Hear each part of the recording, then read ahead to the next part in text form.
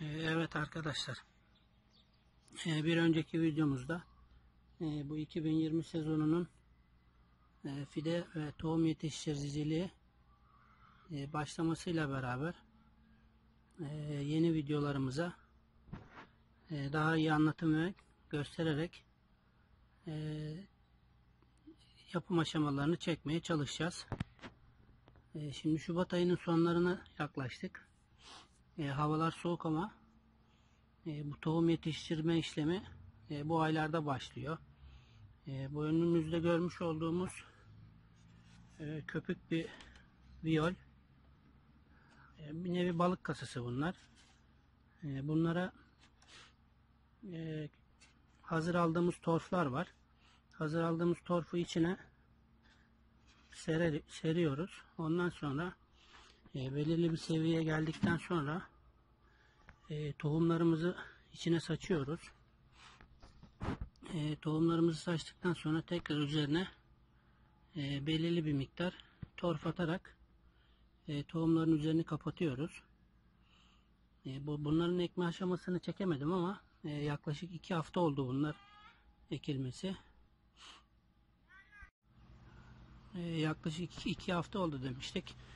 E, bunları dışarıda ektik. E, eve çıkardık.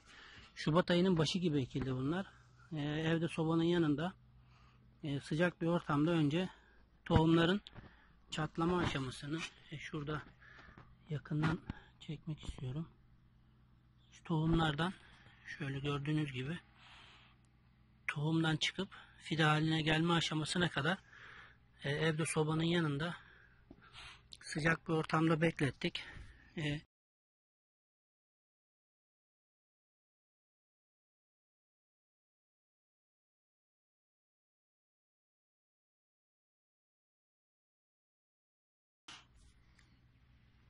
E, bunlar biber fideleri. E, tohumdular. Şimdi fide aşamasındalar. E, gördüğünüz gibi böyle.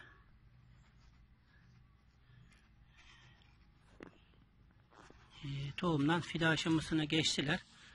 E, şimdi bunlar fide aşamasına geçtiği zaman e, hızlı büyümelerini önüne geçmek için sıcak yerden alıyoruz bunları. E, gördüğünüz gibi e, bir sera ortamına getirerek e, aşırı sıcak bir ortama değil de normal seviyede bir ortama getiriyoruz. E, büyümelerini aşırı sıcaktan uzamalarını engellemek için e, serada şöyle e, tabi gece soğuk olduğu için Şubat ayı demiştik ya soğuk olduğu için de e, şöyle küçük bir sera içinde sera ortamı oluşturarak e, şöyle tülle de örterek gece üstünü donmalardan engellemek için e, yavaş yavaş büyümelerine e, izin veriyoruz. E, bu aşamadan sonra da e, viyollere e, gübre yapacağız. Gübre yaptıktan sonra da viyollere şaşırtma aşamasına geçeceğiz. E, bu aşamada fazla bir şey yapılmıyor. E, sadece soğuktan koruyarak, arada sulama işlemi yaparak böyle büyümelerini sağlıyoruz. E, vakti geldiğinde de viyollere e, bunlar tek tek buralardan alarak sökerek viyollere şaşırtıp e, viyollerde çimlenip köklerinin gelişmesini sağlayacağız. Ondan sonra da vakti geldiğinde tarla hazırlığı ve e, ekim aşamalarını yapacağız. E, şimdilik bunları e, büyümelerini sağlayıp gelişmelerini sağlayıp ileriki aşamalara getirmek. E, gördüğünüz gibi o beyaz beyaz, beyaz olan şeyler e, tohumlarıydı. Tohumlarından çıktılar. Şöyle alabilirsem düştü. Şurada var bir tane bakın. Gördüğünüz gibi öyle tohumdan çıkıyor. Şurada da yeni çıkanlar var. E, bunlar da çıktığı zaman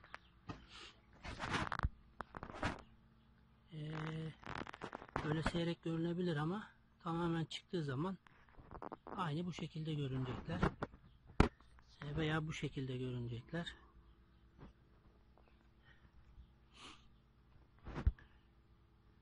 E, bu sezona da böylelikle e, bu şekilde başlamış oluyoruz ve ilerleyen zamanlarda ilerleyen videolarımızla da e, anlatımlarımıza ve yapım aşamalarını çekmeye çalışacağım.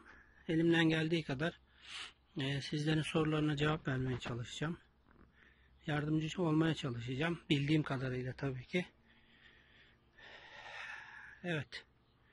E, bu videomuzu da bu şekilde sonlandırıyoruz. E, videolarımızı beğenip abone olmayı unutmayalım. Takip etmeyi unutmayalım. Paylaşmak güzeldir. Güzel şeydir. E, ben bu şekilde bir paylaşımda bulunarak bilenlere veya bilmeyenlere yardımcı olmaya çalışıyorum. E, sizlere de hayırlı günler diliyorum. Tekrar görüşmek üzere.